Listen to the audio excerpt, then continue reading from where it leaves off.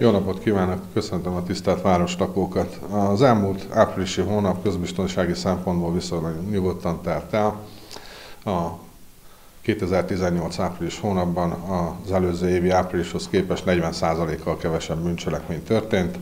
A tavalyi 22-vel szemben idén 13 bűncselekményt jelentettek be részünkre. Szinte minden kategóriában kevesebb bűncselekmény volt, csökkent a, a vagyon elleni bűncselekmények száma, a közrend elleni bűncselekmények száma, vagy a közlekedési és a személy elleni bűncselekmények száma is.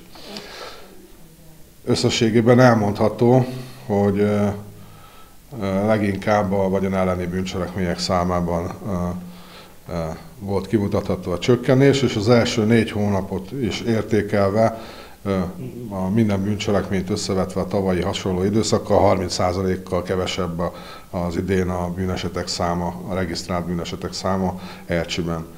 A hónapban egyébként öt lopás történt a Tótikráros részben, kettő pedig a belvárosban.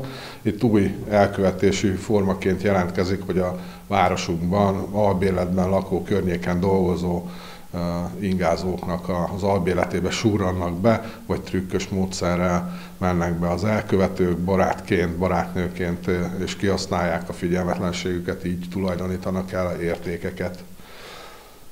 Egy könnyű sérüléssel járó baleset történt a hatos számú főúton Ercsi és Szászalondabatta között, kiúterületen az elmúlt hónapban a kollégáim 25 elővezetésből 13-at sikeresen végrehajtottak, 9 személyt fogtak el, abból 7 volt az, akit bűncselekmény elkövetésén tetten értek, egy elfogadó parancsal között személy volt, és egy személy elfogására másokból került sor.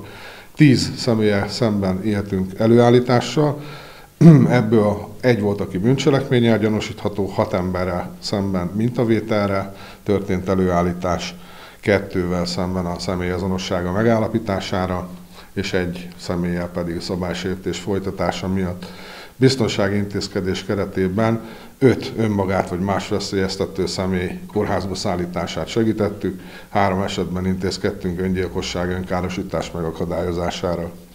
11 személlyel szemben éltünk szabálysértési főjelentéssel, ebből 9 volt a közlekedésrendészeti, és 16 esetben szabtunk ki helyszíni bírságot.